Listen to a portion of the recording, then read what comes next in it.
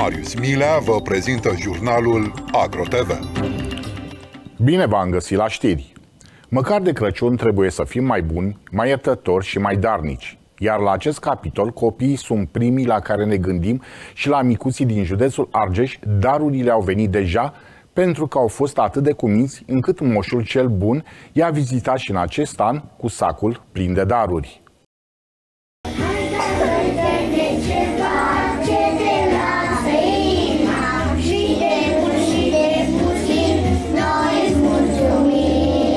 Pentru copiii din comuna Vultureș, Moș Crăciun a venit. Deși a călătorit tocmai din Germania, el a poposit mai întâi la Club 41 Câmpul Lung Mușcel, de unde și-a trimis spiriduși încărcați de daruri. Cadourile acestea sunt cadouri aduse de co- trimise de copiii din Germania cu ajutorul prietenilor noștri din Clubul 41 German.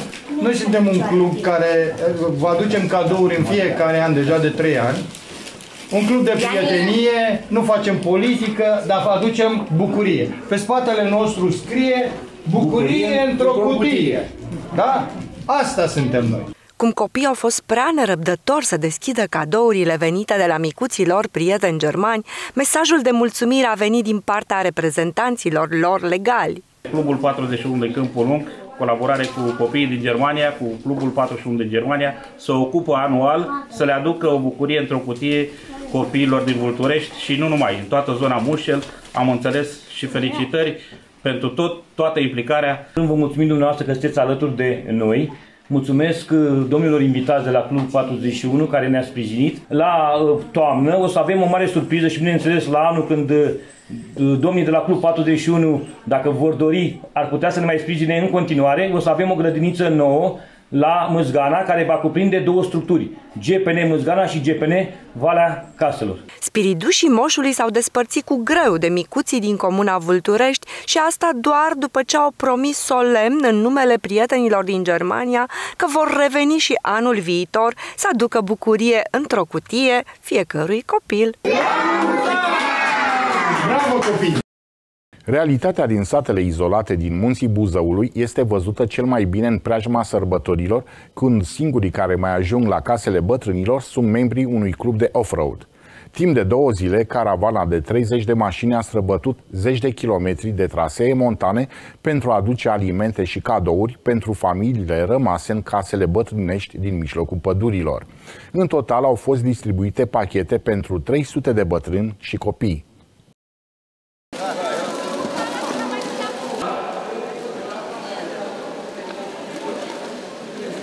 După ce au fost încărcate, mașinile de teren au pornit în coloană din parcarea unui supermarket din Buzău. În total, 15 tone de alimente și lucruri de strictă necesitate au plecat către persoanele aflate în dificultate. Unde veți ajunge anul acesta? Satele din zona, din zona Siriu, satele din zona Nehoiu, după cum știm, umanitarea noastră merge către bătrâni sau către familii cu foarte mulți copii, evident, familii fără posibilități. Anul acesta câți beneficii? 280, chiar 300 de, de, de pachete, deci practic de persoane care primesc de la noi. Mergem la bătrâni singuri, în sate izolate, care efectiv ne văd doar pe noi de Paște și de Crăciun. Sunt prietenii noștri, ne bucurăm. N-am mai fost de 2 ani de când cu pandemia, chiar sunt foarte și emoționat dacă câți dintre dânsii mai sunt. Mergem și la școala din Lunca Priporului, unde tot în fiecare an copiii ne cântă, spun, spun colinde, ok? Și noi suntem pe poze Moș Crăciun. Ce le veți duce anul acesta? Păi, pachete de bază, cum numim noi. La adulți cred că sunt 40 de produse diferite. Încercăm ce avem noi acasă să le ducem și dânșilor. Undeva o cantitate de 10 tone de produse. Mergem pe alimente anul acesta. Am făcut și altă dată lucruri mai spectaculoase, dar eu zic că la acest moment de sărbători, dacă mergem cu alimente și cu o vorbă bună, foarte important, este, este ce, ce ne dorim noi. Au avut de străbătut zeci de kilometri de drumuri grele, unde atât mașinile cât și șoferii au fost puși la grea încercare. După ore întregi de mers prin munți, mașinile au ajuns la casele izolate.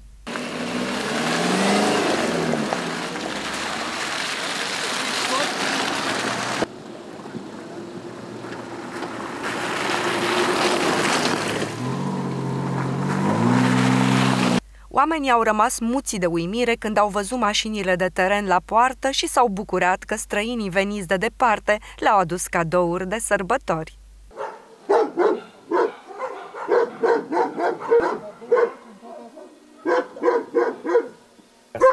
Da, noi vă mulțumim. Văd că e și om hai, ai animale, travăsie. Da, dacă muncim, trebuie să aibă ceva în cosmă. E greu singură? Foarte greu. Deci o viață nu mai grea. Și boala e grea, dar singurătatea e foarte grea. Și bătrânețile, că am soțit la anii ăștia grei. Câți ani aveți, mă? A- Am împlinit în august, pe 12, am împlinit 82 de ani copii. Mulți înainte, mama. Ele că mai are cineva grijă și de noi. Suntem bătrâni, mama. Nu aveți pe nimeni aici? Nu avem că copiii sunt în cărțile lor, unde sunt și îi avem din mai departe. Membrii clubului Off-Road, care au organizat această acțiune, se află la a 20-a ediție. La această acțiune au participat peste 30 de autoturisme de teren, dar și aproape 100 de voluntari. Fermierul Cornel Stroescu a decis să vândă o suprafață de aproximativ 2000 de hectare, echivalentul la 20% din acțiunile companiei sale, către unul dintre cei mai mari latifundiari din Bulgaria. Fermierul din Mehelins plănuiește acum să-și dezvolte afacerile în alte sectoare ale agriculturii, legumicultură și zootehnie. Am creat ceva acolo am, sau am construit ce nu a făcut nimeni în județul Mehedinț. Am considerat că altcineva poate să preia, să meargă mai departe. Eu uh, deja am depus un nou proiect pe partea avicolă pentru integrarea producției, un proiect de 1.500.000 de euro, care sperăm că până la sfârșitul lunii decembrie să semnăm și contractul de finanțare. Uh, Ideea este ca să mergem mai departe, să nu ne ră- rămânem pe un loc. Am făcut ceva aici, am creat, sunt 20 de locuri de muncă acolo, unde nu era nimic, era era un, uh, un uh, fost ceapeu, Da. totul era dărâmat, acum totul este nou. Uh, un silos de 1000 de tone, utilaje, o suprafață de aproape 2000 de hectare care cel care urmează să lucreze. Cine e cel Va- care urmează să lucreze? E un cetățean bulgar, dar uh, A care, mai până la cumpărat urmă, și alte ferme în zonă? Asta nu știu să vă spun ce a făcut, nu l-am întrebat, n-am avut nicio discuție pe partea aceasta. Nu, eu știu Chestia că este- e cineva care a cumpărat și la domnul Rotaru Nu în știu, n-am, Dolj, n-am, tot n-am un dis- bulgar și mă gândeam că poate o nu fi știu dacă e același. același. Uh, E un om foarte ok, păstrează toate locurile de muncă, vrea să mai investească mai departe pe malul Dunării, să, să uh, creeze un nou port de încărcare a cerealelor. Am discutat și pe partea de cereale atunci când o să am nevoie partea care îmi trebuie eu o să consum cu efectivul de păsări, unde facem acum noua investiție în jur de 10.000 de tone de cereale pe an. Știu că ferma avicolă vreți să o extindeți de câte ori? De 5 ori? Sau Nu, de cât- 10 ori. De 10 Ajungem ori la vreți să- 200.000 de 200.000 de capete. capete Da. vreți să E faceți? o investiție de 1 milioane în, în acel complex până la urmă. de un Există milion. cerere în momentul ăsta pe piață? Că A presupun că existat- n-ați, n-ați face investițiile astea dacă n-ar fi cerere de ouă. A existat din Tot timpul. totdeauna. Da? Dacă respecti clientul, clientul te respectă, adică îți cumpără Da. produsul, produsul tău. Banca de Resurse Genetice și Vegetale Buzău desfășoară un proiect inedit prin intermediul căruia tinerii pot obține o diplomă de calificare în legumicultură. Cursurile sunt predate chiar de către cercetătorii instituției, iar cursanții se bucură de toate condițiile necesare, astfel încât la final să se bazeze pe cunoștințe solide în domeniul agricol. Au la dispoziție sere, laboratoare, o sală de curs cu proiector și o multitudine de surse științifice prin intermediul cărora să descopere tainele care stau în spatele înmulțirii și protecției plantelor. Orele de curs alternează cu vizite în serele băncii de resurse genetice, unde cadrele didactice le explică în amănunt despre tipurile de plante și tehnicile prin intermediul cărora se pot cultiva. O parte dintre elevi au ales cursul de legumicultură pentru a le servi mai departe într-o carieră de specialitate, alții din pasiune pentru mediul înconjurător. Cursurile se desfășoară pe durata unei luni, timp în care elevii trec prin mai multe stagii de pregătire. Există întrebări și curiozități din partea lor, la care cercetătorii încearcă să ofere răspunsuri cât mai atractive. Acest curs este un curs de legumicultor de formare profesională în cadrul unui proiect uh, pe fonduri europene, capital social. Um, în cadrul acestui curs, uh, cursanții vor uh, afla despre bazele legumiculturii, despre tehnicile de producere a legumelor, atât în spații protejate cât și în câmp și, cu siguranță, despre fiecare specie în parte și despre legumele pe care și le pot cultiva atât acasă cât și în alte forme de organizare. Practic vor uh, învăța să producă uh, răsaduri, uh, să producă semințe, de ce nu, să facă condiționarea semințelor, selecție și, de asemenea, tehnicile de mulțire ale plantelor. La finalul stagiului de pregătire, cursanții vor obține o diplomă de legumicultor cu ajutorul căreia se pot angaja în domeniu sau pot pune bazele unei afaceri. Cursul durează o lună de zile. După ce um, se termină cursul, absolvenții, cei care participă la curs, vor uh, fi, dau un test și după, ce, după testare uh, vor primi un certificat de calificare, uh, calificarea de legumicultor, pe care ei îl vor folosi Uh, le va fi de mare ajutor. Noi dorim să ținem legătura cu ei pentru că ei s-au lipit de noi. Noi am uh, depășit puțin uh, barierele cursului, am căutat să-i atragem pentru că și noi dorim să ne dezvoltăm. Am primit acum 10 hectare de la primăria Buzău și, și noi o să avem nevoie de forță de muncă și dintre ei probabil că o parte chiar la noi se vor angaja. Prima grupă de elevi va susține examenul de absolvire al cursului în luna ianuarie. Totodată, instituția speră ca proiectul său să continue, ținând cont de faptul că domeniul agricol este unul vast și oferă tinerilor o mulțime de oportunități pentru a-și dezvolta o afacere sau pentru a urma o carieră. Tuta absoluta, cunoscută și ca molia tomatelor, este unul dintre cei mai periculoși dăunători ai culturii de tomate în spații protejate. Deși este unul din dăunătorii relativ noi la noi în țară, tuta absoluta s-a răspândit rapid în toate bazinele legumicole, iar astăzi produce pagube serioase în culturi. Totuși, trebuie să știm că ea poate fi combătută cu anumite tratamente. Doctor inginer Horia Ghibu vă prezintă cum să scăpați plantația de moria tomatelor într-un material pe care îl găsiți în site-ul nostru agro-tv.ro, material video extras din emisiunea Ce vor plantele.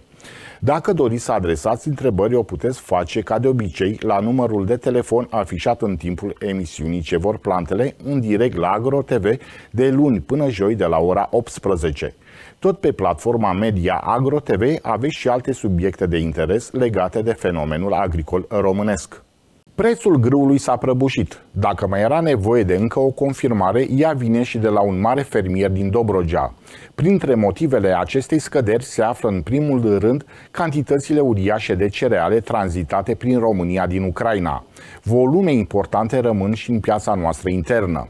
Să urmărim interviul realizat de colegul meu Ovidiu Ghinea cu investitorul dobrogean Constantin Soare.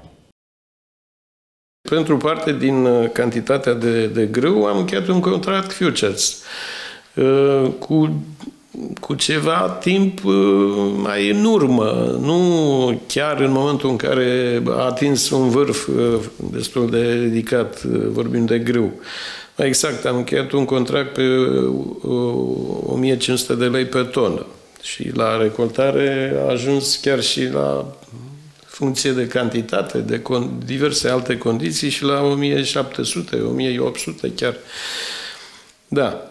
Ehm, și de asta spunem, au crescut prețurile în timpul recoltatului, cum nu s-a întâmplat absolut niciodată. Ulterior, prețurile au iarăși au avut scăderi, iarăși puțin creștere și așa mai departe. La momentul de față, din păcate, ele generat din ce constatăm de, de uh, faptul că s-au creat niște înțelegeri trilaterale sau, mă rog, și cei de la ONU, înțeleg, deci Rusia, Ucraina, Turcia și reprezentanții ONU, s-a creat posibilitatea pe un culoar, cu ghilimele de rigoare, să se uh, Ucraina să poată să exporte cerealele pe care le are. Și datorită acestor situații, prețurile au, au stagnat sau au scăzut, cel puțin la momentul de față au, au scăzut. În contextul inflației din ce în ce mai mari, toate calculele indică faptul că bugetul pentru agricultură la nivel european s-a redus cu peste o cincime față de exercițiul financiar precedent 2014-2020. Potrivit estimărilor specialiștilor, până în 2027, diferența privind banii pentru agricultură va crește până la 30%, a declarat europarlamentarul Carmen Avram în exclusivitate pentru AgroTV. Prima veste și cred că cea mai importantă care ne interesează pe noi uh, ca țară și ce interesează sectorul din, din România este faptul că există acest studiu care arată că din cauza inflației bugetul PAC scade cu peste 20%. Și există niște estimări că până la sfârșitul uh, acestui buget multianual această scădere va, ar putea ajunge până la 30%. Deci, um, e o veste care știu că îngrijorează foarte tare, ne îngrijorează și pe noi uh, în, în Parlamentul European, pe, pe cei care suntem în Comisia pentru Agricultură și, și delegațiile noastre sunt, sunt îngrijorate de asta. Uh, din păcate, deși era evident că asta se va întâmpla, acest subiect nu a fost discutat serios um, în Parlamentul European. Al doilea punct care este foarte important pentru sectorul nostru este acest uh, viitor regulament pentru uh, folosirea sustenabilă uh, a substanțelor în, în agricultură. Știți că a fost scandal foarte mare pentru că a existat o variantă în care tot, se, se vorbea despre reducerea la 50% a pesticidelor peste tot, în toată Uniunea Europeană. Nu era clar dacă fiecare stat sau toate împreună. În final s-a ajuns la o variantă în care România să reducă 35% și la extrema cealaltă în, privind cantitățile folosite, uh, Olanda să reducă cu 50%, oricum ar fi fost, nu era bine pentru noi. Uh, și uh, se cere cu insistență de la nivelul Parlamentului European un studiu de impact care să ne arate ce înseamnă această reducere a pesticidelor în agricultură să vedem cum afectează producția, cum afectează prețurile la consumator, cum afectează uh, sectorul nostru. Independența totală față de curentul electric și energia termică din rețelele naționale nu este deloc o utopie. Exemplu, ni oferă câteva pensiuni și cabane puține cei drept, construite în zone sălbatice neelectrificate din munții Buzăului. Un astfel de local complet autonom se află pe malul lacului Siriu. Proprietarul complexului, un inginer electronist, folosește panouri solare de peste un deceniu și jumătate. Zona este neelectrificată. Este lipsită total de utilități și, în primul rând, de curent electric. Sergiu Tutulan spune că de 15 ani nu mai plătește facturi la curent sau gaze, deoarece cabana sa este alimentată de la panourile fotovoltaice, iar încălzirea vine prin pompe de aer. A fost nevoit să investească mii de euro în aceste instalații, deoarece a construit pensiunea într-o zonă izolată, departe de rețeaua de electrificare. Aici era un cioban cu câteva oițe, nu era absolut nimic în zonă, nici măcar drum. A fost o provocare uh, frumoasă pe care pot spune acum, e adevărat, după eforturi mari, dar pot spune că am uh, învins-o și ne putem lăuda, iată, la ora actuală, că suntem un complex, un pic complex turistic, cu autonomie totală din punct de vedere energetic. În ultimii ani și-a mărit sistemul de alimentare cu noi panouri de captare și acumulatori performanți. Încă un grup de panouri solare încălzește apa menajeră, iar câteva pompe de căldură aer-apă extrag energie din aerul de afară și încălzesc caloriferele și conductele din pardosală. Transmisia căldurii de la un etaj la celălalt este de asemenea importantă, repartizarea camerelor, înălțimea, sunt foarte multe lucruri care contează pentru a obține un, un uh, confort termic. Apa caldă, produsă, cum am spus, prin încălzirea directă solară sau prin uh, pompele de căldură, este la temperatura obișnuită necesară pentru băi 40-45 de grade. În timp, buzoianul a învățat cum să-și adapteze pensiunea astfel încât să consume cât mai eficient energie. Încăperile trebuie să aibă ferestre cât mai largi pentru a spori iluminarea naturală, aparatele din cameră să fie cât mai economice, inclusiv televizoarele e bine să aibă diagonale cât mai mici. Indicat pentru evitarea risipei este ca absolut toate becurile să fie de tip LED și să fie pornite prin senzori. Sergiu Tutulan declară că a cheltuit în 15 ani aproximativ 50.000 de euro în echipamentele care îi asigură energia electrică și termică. Mai precizează că dacă ar fi beneficiat de toate utilitățile din rețelele naționale, facturile l-ar fi obligat la costuri mult mai mari de la înființarea complexului și până astăzi. Pensiunea, construită din bârnă de lemn, cu două etaje și mansardă, dispune de nouă camere.